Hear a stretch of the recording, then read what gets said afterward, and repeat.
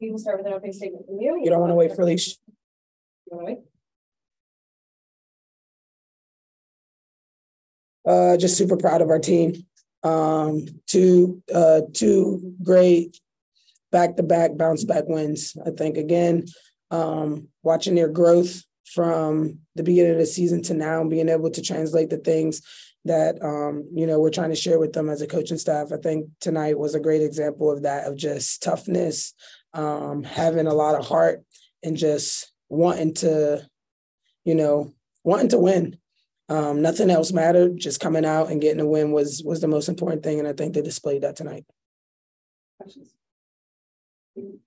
Um, your team has, you know, developed some really good chemistry so far. Just what are you seeing from them when they play together that you like? Just more comfortable. I think um, they do a really good job of keeping the main thing the main thing. Nobody's worried about anything other than um, the team you know, and that's the most important thing. And so, um, you know, they're still building chemistry too. You know what I mean? It's not fully there. Um, that'll that might not be to the middle of the season, but I but I like what they're what they're doing now and how they're looking for each other and how they're starting to understand each other's tendencies and their in each other's strengths. Um, they're doing a really good job of that. I mean, late in the fourth and then ball went to a lot of different people making plays. How special is that to have? You're not going to just gonna have to okay, one player's gonna try to win the game. We're to get everyone the ball. Yeah, it's it's why we have the offense that we have. To be honest with you, um, we know we have multiple options. We have multiple people that can do multiple things, and so um, we have this type of offense so that it's easier for us and harder for the for the defense to focus in on. Um, and tonight, man, our three all stars really showed up. I mean, Riley and uh, and CP showed up big in many different ways, right? Um, we know that there are they're all stars. They're our big three, but the other ones also just fill in so well. You know what I mean? Looking at Haley here, sitting here next to me, she had what? Would you have Haley ten and nine? 10 and 9 tonight, you know what I mean, which which is big. 34 minutes again, another, you know what I mean, big minute, log big minutes again. Um, so the others are just filling in so well and complimenting um, the three all-stars that we have on this team. You know, your teammates sat here a few hours ago and they said when you got to camp. You're not sure, should I, shouldn't I? And now they they remember the Haley, they remember from from USA basketball in college. Can can you run me through when this has kind of turned for you and when you just started doing what you've done your whole life? Uh, I think it just had to turn at some point. I was getting tired of playing like that, and I'm sure my coaches and teammates were tired of me being all nervous all the time. So I think um, just starting to relax and um, trust that you know I'm here for a reason. My teammates have confidence in me, and they've done a really good job reminding me of that. So finally buying into what they were telling me. What was that fourth quarter? Four points in a row, and the guys needed the, the points. How that feel to them. Great. Mm-hmm. Yeah, I like when the team scores. yeah. Yeah. Um, Haley had, you know, some tough possessions early in the game, but then kind of yeah. recovered. Um, I can ask both of you just how did you see her kind of learn and get better just within one game? I, I think sometimes just sitting down and taking a deep breath. I took her out and told her take a deep breath. Like it's a part of the game. You know what I mean? They're, you're not gonna be perfect every every single game, and you're still huge learning curve as a rookie. Um, and she's just done a good job of really just taking her time, seeing things, um, and just stepping up. I said it before, and I really feel like I think what we're seeing now with Haley is um, we are down people, and she's being needed very much. I mean, she's played 30 something minutes um, the last two games. And I think she thrives in that situation. So I think what we're seeing right now is who Haley has always been her whole her whole career. Richard, what was the mindset going into overtime? Did you get to the late basket to tie it? Did you just feel like you were just going to attack when overtime started? Yeah, I mean, we came to the mindset that we wanted to win the game, and we got the opportunity overtime to do it. I mean, we wasn't going to walk out of here without a without a W. Yeah, you guys, you guys did a really good job attacking the paint, even with you know some really tough defenders in there. How were they able to kind of pick apart the defense going to the basket? Just being aggressive, I mean, Coach T always says north, south, not east, west. So, you know, just being aggressive and also knowing that being aggressive, you also got to look for your teammates as well. So we got a good, a lot of good looks from that as well. So just going north, south, not east, west. Good job, Leash. Great uh, job. Great. That's on the defense on Joe. She had, I think, 26 and a third, and she had 28. Yeah, she had 21 at half. Um, and that's something that we talked about. We told our post players they needed to take on the challenge. Um, and I thought that they all did that. I mean, no matter who we threw in, when we threw them in, they really took on the challenge to try to limit her touches, um, limit her opportunities. Um, and so because of that, we were able to hold her to seven points um, in the second half. So um, I wish we do our work a little bit early. You know what I mean? A little bit early in the in the first half, but again, just really proud of their um, their bounce back, um, not quitting and really sticking with it. What do you think this two stretch game stretch could do? You're playing with a lot of kids a year or two out of college. How much confidence is it going to give this group moving forward? You know, come on the road and going back to back like this. I mean, two big wins like this definitely a confidence booster. I mean, even though one or two years out of out of college, I mean, they're very mature players. I mean, it's a reason they're brought here because of, of, the great players they are. But I mean, the most important thing for us is to stay locked in and keep keep playing hard and continue racking up wins. Uh, Haley, just talk to me a little bit about you know adjusting in this game and what kind of changed for you as it progressed. Um, I think yeah, just coming out, taking a deep breath, um, cooling it. I think even when I got back in, there was another turnover that happened, and I was just like, girl, just breathe. So it was just stop trying to make passes that aren't there or forcing things. And I think the, the thing the top coaches and teammates get on me for is just like picking up the ball. I think a lot of times I do it because I see something, but I just need to keep that dribble alive, which helps a lot more. So I think just kind of finding that rhythm, listening to them and incorporating that, it, it helps a lot. I know you and Rhyne have a good relationship, and I saw her kind of getting on you a little bit. What did mm-hmm. what were those interactions like? Stop picking up your dribble, basically. and so then and then same thing from Barb and T. So I mm-hmm. tried to do that. And then when I did, it helped quite a bit. Yeah, that's coaching is great. Yeah. do your job very well, T. Uh, we're gonna come here. Let's go to Mark Schindler. Go ahead, Mark. Hey, y'all. First off, big congrats on the win. Um, T, question for you. It felt like the flow really picked up in the half court for you guys offensively in the second half. I was wondering what things you changed up or what you felt um, just hit better.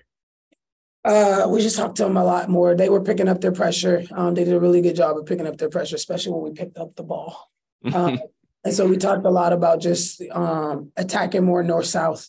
Um, if they wanted to pressure pressure us to take advantage of that, use that to our advantage by getting downhill, drawing, and being able to kick. So we tried that. We did some other stuff. We did some ghosting um, within our within our half court offense that I think freed up some opportunities as well. Um, but in all honesty, like players just made plays. Um, they went out and made plays. Leash made big plays. Rhyne made big plays. Haley made big plays. We went to some. Uh, we went to like one specific set and tried to see if we can get a lot of um, action off of that, which we were able to. So, um, you know, they just ended up making plays. To be honest. Definitely. And you know, going off that too, it feels like Rhyne just keeps getting better and better at getting into the paint and finding ways to to find her teammates. Um, I was wondering if you could just highlight that a little bit and, and what you saw from her tonight. Yeah, um, you know, one of the the one of the pieces of feedback we gave Rye at the end of last year was being able to use her whole repertoire. Like we know that she wants to shoot threes. There's no doubt. Everybody knows that, and she's pretty good at it but Rhyne has so much within her game that she can do to help um, impact our team. And so we we really challenged her to be able to do that um, coming into this coming into this season. I think she's really taken that to heart. Um, so what you're seeing now is just you know her taking our feedback and really applying it each and every night. Definitely. And then leash for you. Uh, how are you feeling? You just played 45 minutes tonight fine. Oh yeah, I feel fine. I mean, that's oh no, I know. I'm just asking. hey, training camp prepped us really well. Sure, that's all you gotta say. Bye, Leash.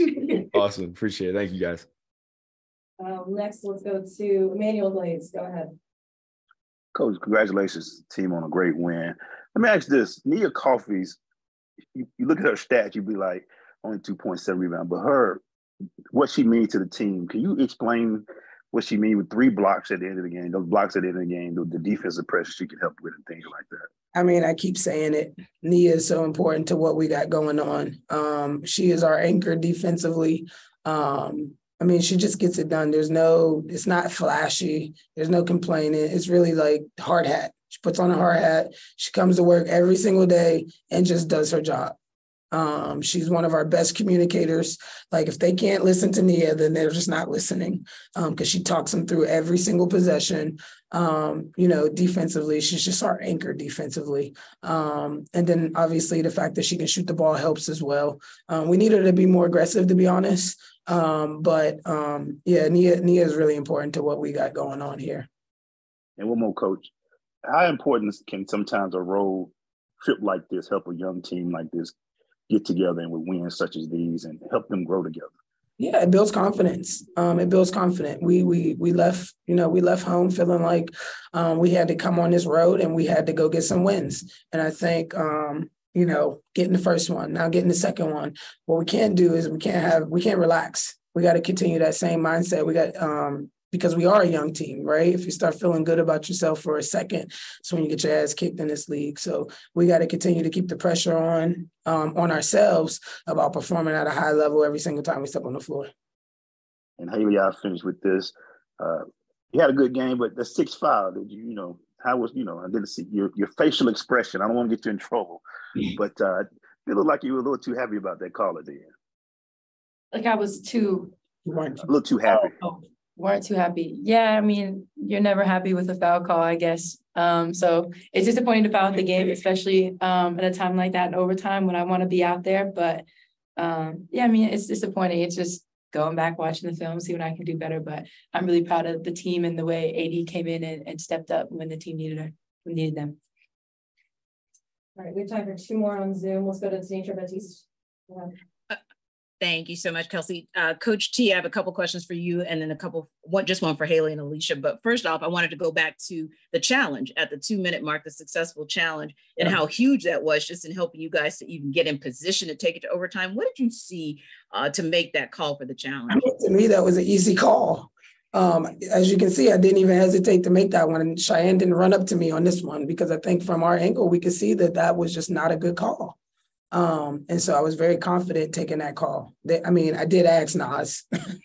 I did ask her, like, did you touch it? Um, but she said no, but we were very confident to to do that one. That one to me was an easy missed call. Indeed. And then Coach T, going back to the feedback you talked about giving Rhyne after last season, she yeah. really showed a lot of poise, a lot of patience on that inbounds uh, play to end regulation. How does that kind of speak to the growth you've seen in her so far this season?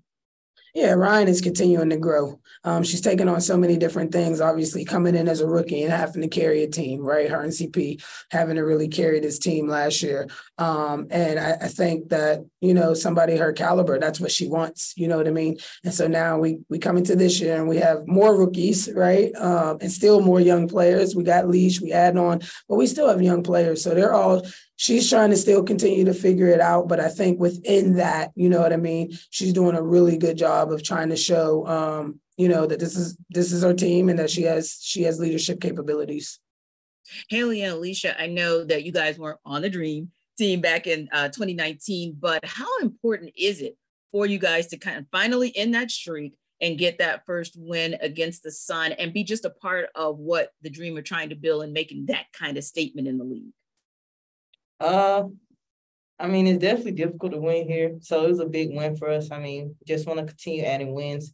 I mean, 2019, that was a while ago, so I don't remember. But right. I mean, I'm just being in the moment now. I mean, I mean, we're building something special here. It was great, and you know, it was a big win. Yeah, what Leash said. I think I think what's being built here in Atlanta is really special. So I was I don't know, ecstatic when I got drafted here. So to be a part of this and come and win on the road at New York and now in Connecticut, we got two more we want to get. Um, I think it's really exciting to be a be a part of this new era of the dream. Thank you. Thank you guys. Thanks, Coach. Thanks, ladies.